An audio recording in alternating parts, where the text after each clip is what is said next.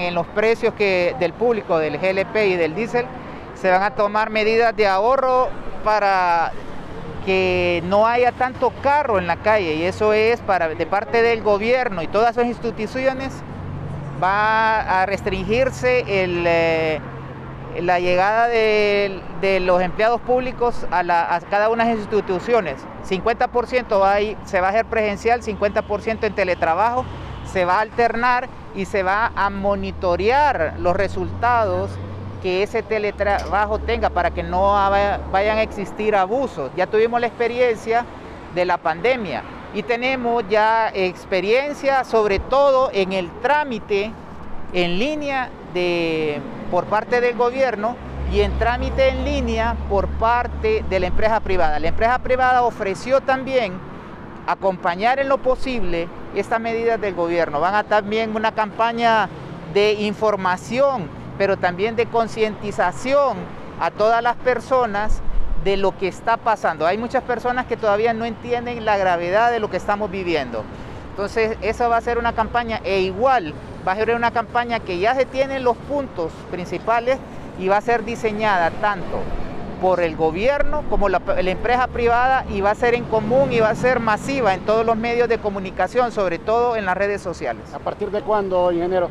ya esta semana se tienen ya los listados de todos los personal, del personal de todas las instituciones para poderlo tomar en cuenta. Tienen que, vamos a tomar en cuenta también que hay mm, instituciones como por ejemplo los hospitales, eh, la seguridad, la policía, que no se va a poder hacer en la misma forma que otros, otros agentes del gobierno, pero la idea es ir sacando personas y de esas 50% de personas que esa semana le toque ir, va a ir en tres bandas de horarios diferentes. ¿Para qué? Para todavía hacer más fluido el, el, eh, el, el fluido los, los automóviles en las calles, para que se pueda ahorrar aún más dinero. ¿Qué tipo de horarios serán implementados entonces, Posiblemente esté entre 7 y 8 de la mañana la entrada, entre 8 y 9, entre 8 de la mañana y 9 de la mañana y otro horario que está por discutir. Pero lo importante es esto, también va a ser así la salida y se va a monitorear que eh, hacer conciencia que esa persona, si sale temprano, no vaya a estar quemando gasolina fuera, porque entonces de nada va a servir el ahorro. ¿Esta medida en qué porcentaje podría ayudar a mitigar este impacto que Mire, los números que nosotros hemos hecho es que podemos reducir la cantidad de automóviles y por ende tener un ahorro similar entre un 30 y 40% de lo que ya estamos consumiendo semanalmente y eso se, traduciría en un ahorro no solamente de divisas, sino del subsidio que se está pagando. ¿Se ha, eh, mm, pensado, ingeniero, en congelar el precio de los combustibles? Mire, el congelar los precios en este, en este momento sería, no le, quiero, no le quiero mentir a nadie, sería prácticamente impensable.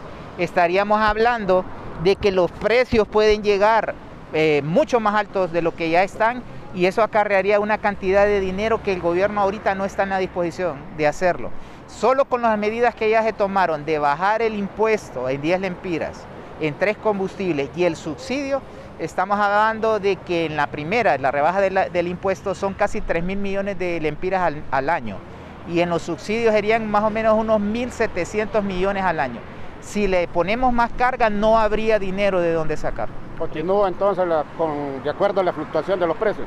Continúa la fluctuación y por eso es que si no puede, si el precio está muy alto, la otra medida viable y es lo que están haciendo en todos los países del mundo es concientizarlo para que el uso sea a lo estrictamente necesario. ¿Y qué otras medidas están eh, en la mesa que se pueden ir implementando poco a poco? Mire, aparte de las tres que ya hablamos, está la revisión de las eh, exoneraciones en, la parte de energía. O sea, hay un valor que más o menos fluctúa entre 3.600 millones que se dan en exoneraciones al año. Creemos que eso se puede bajar. Si se baja en un 10 o un 20% esas exoneraciones, podemos tener dinero para utilizarlo en, otro, en otros rubros y tal vez en este mismo que estamos hablando.